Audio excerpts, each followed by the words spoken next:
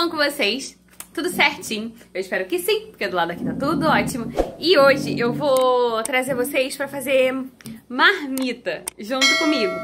É, eu costumo fazer as quentinhas, né? Assim, ó. Vou mostrar pra vocês. Ó, assim. Pra gente ir comendo durante a semana, porque fica bem mais fácil, né? Quem aí tem neném, trabalha e, e faz tudo ao mesmo tempo, sabe como é que é difícil pra caramba. E então aí eu fui no mercado agora e eu encontrei é, peito de frango por... Quanto a gente pagou? Oi? Oi, gente, menos de 9 reais. Aí a gente comprou peito de frango. Ainda tem um pouco de brócolis aqui. E tem arroz, feijão, aí eu vou fazer algumas marmitas e vou ver mais ou menos quanto a gente gastou pra contar pra vocês, porque eu acho que vale muito a pena e economiza muito fazer isso. Economiza tempo, dinheiro e sem contar, gente, que assim, vocês sujam panela uma vez só, né, amor?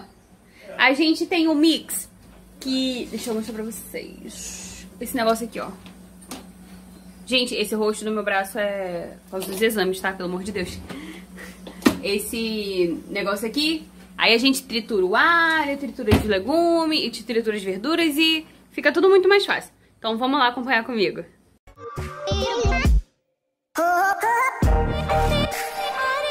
Então, gente, o primeiro passo vai ser preparar o frango, que eu vou fazer na panela de pressão desfiado. E com ele eu vou fazer a, a, as panquecas, né? Tô pensando em fazer também um pouco de estrogonofe, mas ainda tô decidindo. Aí eu deixei aqui separado manteiga, alho, creme de leite, a tapioca, o ovo, que eu vou fazer panqueca. E o... Só que o que acontece? Eu só tenho uma panela de pressão. Então, enquanto eu tô fazendo feijão, porque o Léo gosta muito de feijão, é, eu vou fazendo as massas das panquecas. Aí depois eu faço frango. Daí, gente, pra fazer a nossa, a nossa massa da tapioca, eu vou usar aqui, ó, 100 ml de leite. 100 ml de leite, dois ovos,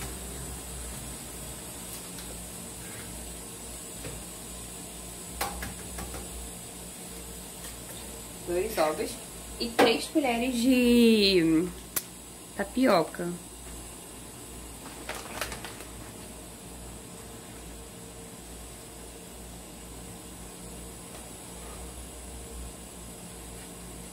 Aí agora é só bater. Usando aqui o mix mesmo. A gente bate. Eu acho... Eu uso o mix porque eu acho mais fácil usar ele do que ficar sujando o liquidificador. Aí você também tem a opção de colocar sal ou não, né? Eu não coloco.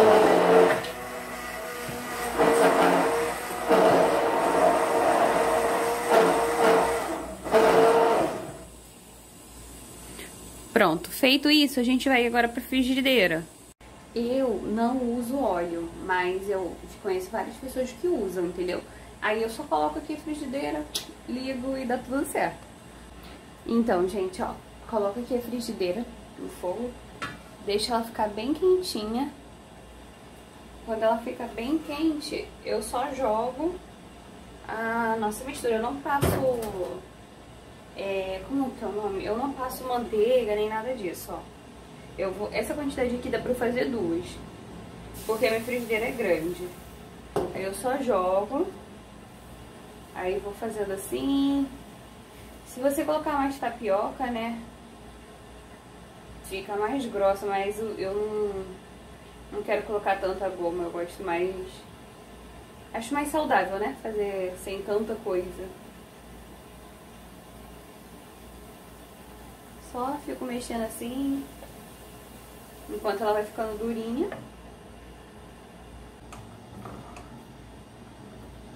Agora a gente só precisa tirar ela daqui e botar no prato. Esse, eu não viro esse lado aqui porque esse, eu recheei o outro lado, né? E ainda vai no forno pra... né? No micro-ondas e tudo mais. Mas olha, não fica cru não, tá? Mas você também pode virar o outro lado. Eu não viro porque eu acho que fica muito crocante, tipo, muito biscoito. Então, galera, pra fazer o arroz agora, eu vou fazer o quê? Vou pegar o meu brócolis. Vou colocar no triturador. Que eu uso esse daqui, ó, que vem junto com o mix. Mas você pode não fazer, pode picar e tudo mais. Eu faço com o triturador porque tem triturador aqui e eu acho mais fácil. Aí eu lavei o arroz, tá secando já, ó. Eu coloco... Eu, eu gosto muito de brócolis, gente, tipo, muito, muito mesmo. Aí eu coloco bastante, tipo, meio a meio, sabe? Aí eu coloco aqui no mix e trituro tudo.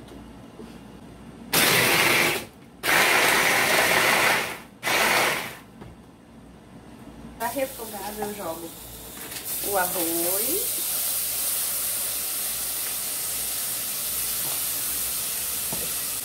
E o brócolis. Opa! Então, galera, aí agora eu vou fazer o frango pra gente fazer o recheio da nossa panqueca, né? Só que como meu meu feijão ainda não ficou pronto, que essa panela tava uó, eu resolvi fazer no mix também. Aí fica tipo uma carne moída de frango, né? Um frango moído. Mas fica sensacional, maravilhoso.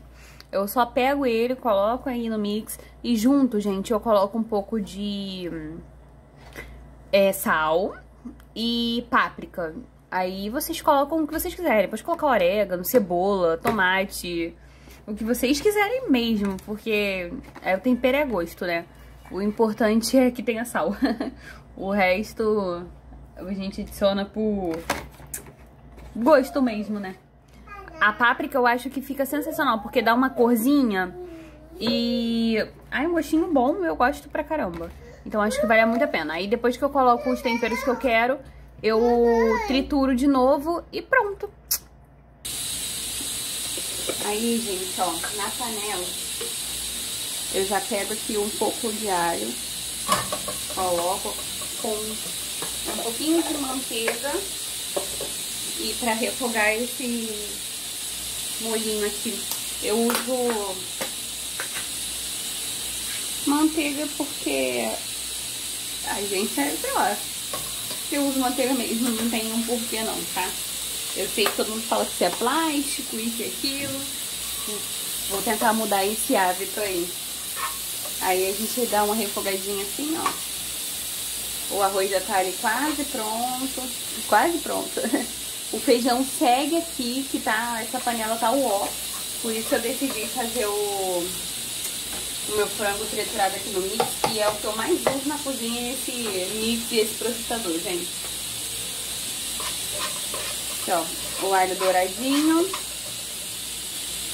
A gente joga o nosso frango com a páprica e com o sal. Gente, geralmente eu costumo colocar cebola, tomate, essas coisas, mas não tinha aqui em casa e eu tô fazendo mesmo com as coisas que, né, já tem aqui, porque eu encontrei o frango lá no mercado na promoção, aí o Léo entrou rapidinho pra comprar. Mas a gente tá evitando, mas tá, vai ficar tão gostoso quanto. A páprica e o alho super funciona. Aí eu vou refogando aqui, refogando refogando, até ele ficar com aparência bem bonitinha, pra gente poder rechear nossa crepioca, né? Ó, quase pronto. Coloquei aqui o um pouquinho de orégano, que eu adoro. E agora eu vou colocar um pouquinho de massa de tomate. Na verdade é molho pronto, né, gente? Eu gosto de fazer, mas vai o pronto mesmo dessa vez. Pra ficar molhadinho na nossa crepioca. O arroz ali, ó, que agora secou. Vou desligar. Aí eu vou deixar esse daqui ferver um pouquinho pra gente montar nossa crepioca.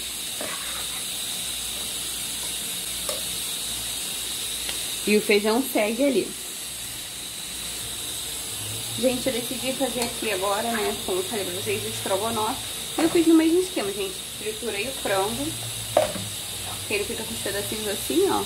Fiz no mesmo esquema do, do franguinho da tapioca, do franguinho da crepioca, só que eu vou botar o creme de leite. Não vou botar mostarda, manteiga, não é bem um estrogonofe, então não sei o que que é.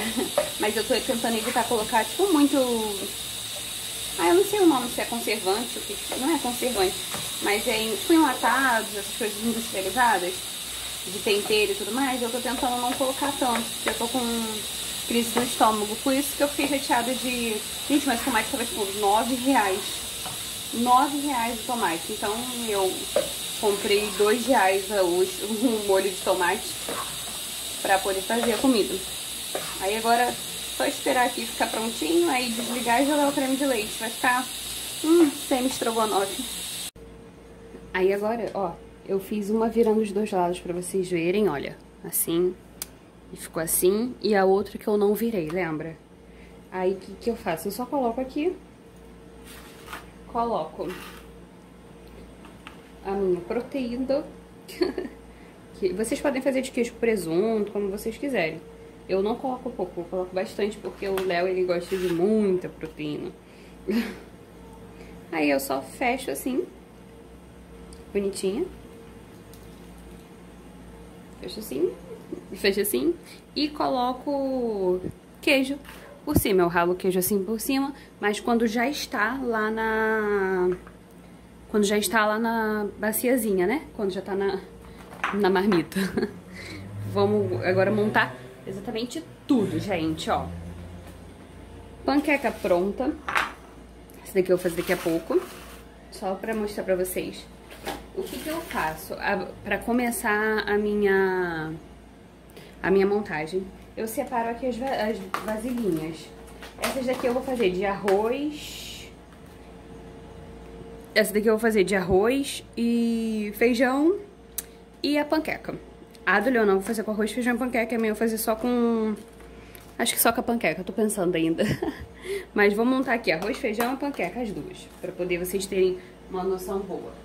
Eu vou começar colocando feijão, né? Que é um dilema feijão, né? Uns falam que é por cima, outros falam que é por baixo.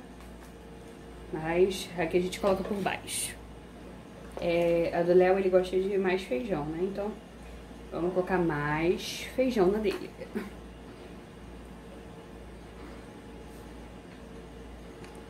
Então, a gente começa com feijão. Depois do feijão eu vou colocar o brócolis com arroz. Na verdade, arroz com brócolis ou meia meio. Eu... Ai, gente, sério, eu sou apaixonada por, por arroz com brócolis.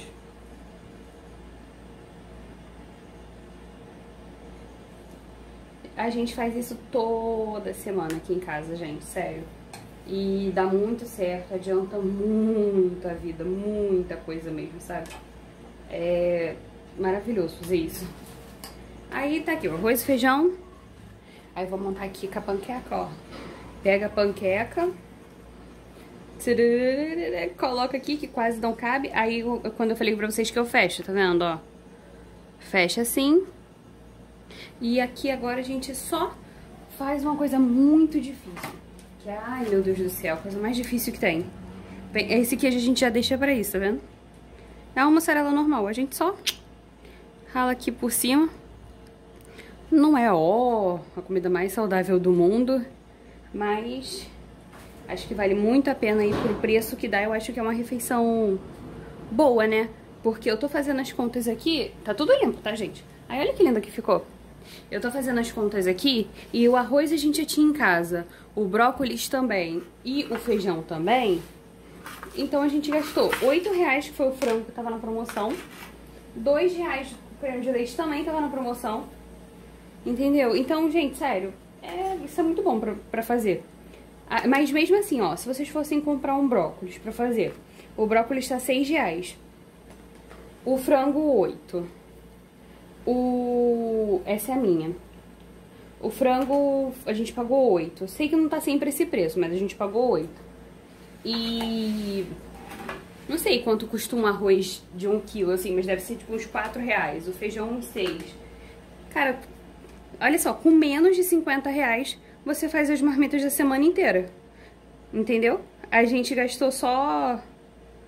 A gente gastou 12 reais, mas porque a gente já tinha as coisas em casa, mas vocês fazem com uns 45 reais essas marmitas numa boa, tranquilão. Pronto, montei as de panqueca. Agora eu vou pegar mais duas e vou fazer a de estrogonofe. Mas de estrogonofe, como a gente come muito, gente, eu vou montar aqui, ó. Quatro. Deixa eu ver. Eu acho que só vai dar pra quatro. Vamos ver quantas marmitas a gente vai conseguir fazer. Sem miséria, hein? Sem economizar. Mais uma vez a do Léo vai feijão, a minha não. Mas o Léo, ele precisa... Nossa, Tatiane. Meu Deus. Feijãozinho, ó. Tudo cagado, sujei tudo. A marmita do Léo. O Léo gosta de feijão pra caramba, gente. Então sempre tem que fazer. Feijão pro Léo. E agora vou montar... Ah, deixa eu mostrar pra vocês como ficou o estrogonofe, ó. Não é bem um estrogonofe, mas sério. Experimentem. Façam na casa de vocês.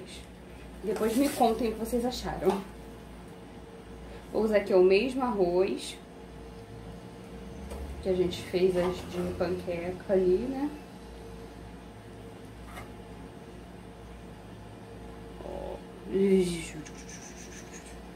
Também não exagera, né? e agora colocar a proteína dele.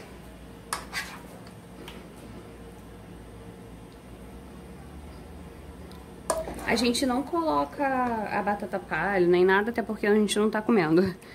Então, mas se você for congelar, não coloca a batata palha pra congelar, tá? Aqui, ó. Mais duas prontas. Do Léo. Nossa, chega pesada. E agora as minhas. Gente, vocês podem achar que é sacanagem, mas eu realmente como pouco. Por isso que eu sempre faço assim. E geralmente o Léo ainda fila a boia da.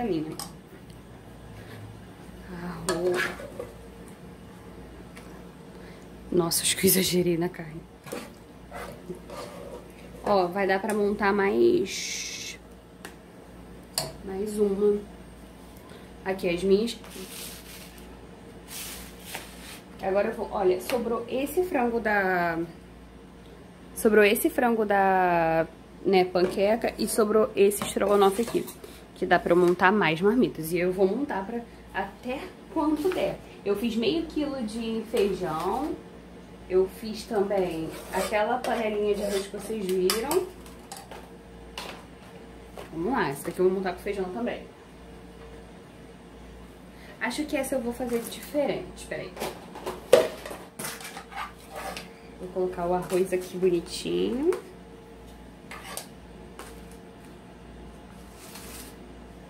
Vou colocar o feijão do lado. Ai, será que vai ficar bonitinho? Ai, o feijão escorreu muito. E vou colocar aqui, ó, o franguinho.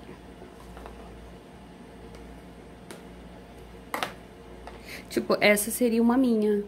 Ai, ficou bonitinho, gostei assim. Vou montar mais assim. Olha, dá pra montar mais uma.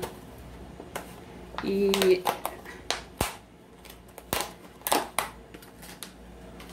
Essa daqui eu vou montar só de arroz.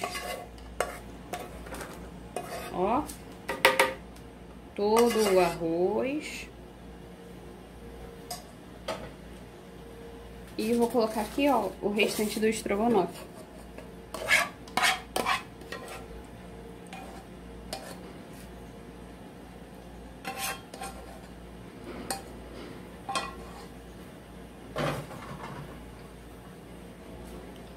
Essa não ficou muito bem arrumadinha, não.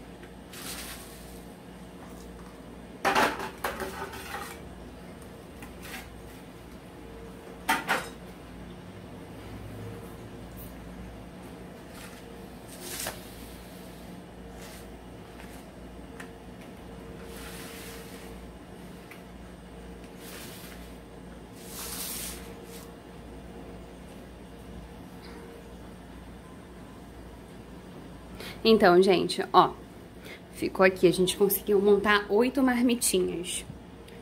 Então, saiu, sai bem barato. Até porque você não vai usar todo o feijão, você não vai usar todo o arroz. No máximo que você vai usar é toda a proteína, né? A carne ou frango, peixe, não sei. É... Então, cara, compensa muito, porque pelo menos aqui onde eu moro, se você for comprar essas marmitinhas congeladas, o preço varia de 10 a 12 reais cada uma. Então aqui teria 80 reais e a gente gastou uns 40... Vocês, no caso, gastariam mais ou menos uns 48 reais pra fazer essas marmitas todas.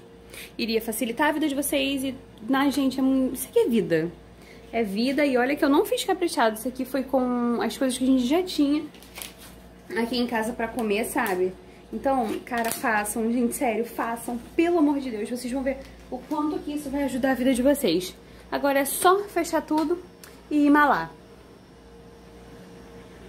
Então, vocês gostaram? Gostaram de ver nossas marmitinhas todas prontas? Tudo bom, querida? Então, gente, eu levei uma hora pra fazer isso daqui, porque foi exatamente o tempo que o feijão ficou no fogo. Porque esse feijão, né, deu uma... um trabalhinho básico. Mas eu achei que ficou, que eu acho, né, que fica muito legal. Eu gosto muito de fazer isso. Eu acho que facilita muito a vida corrida da gente. Eu tô bem bagunçada, porque realmente é o dia a dia. É isso que eu faço. Eu comecei a fazer, era uma hora, agora são duas e quinze. E já estão emaladinhas, né, e tudo mais. Agora é só botar pra congelar.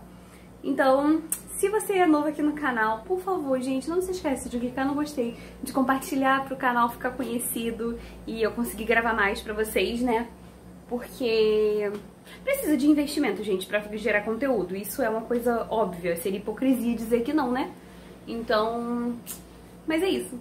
Eu vou adorar se você se inscrever aqui, se você deixar um comentário, porque, gente, super motivo os comentários que vocês deixam, sério. É surreal de lindo, sabe? O carinho de vocês. Mas é isso. Se inscreve no canal, compartilha com as amigas, faz e me marca, comenta aqui. E um super beijo, espero que vocês tenham gostado. Até o próximo vídeo. Tchau!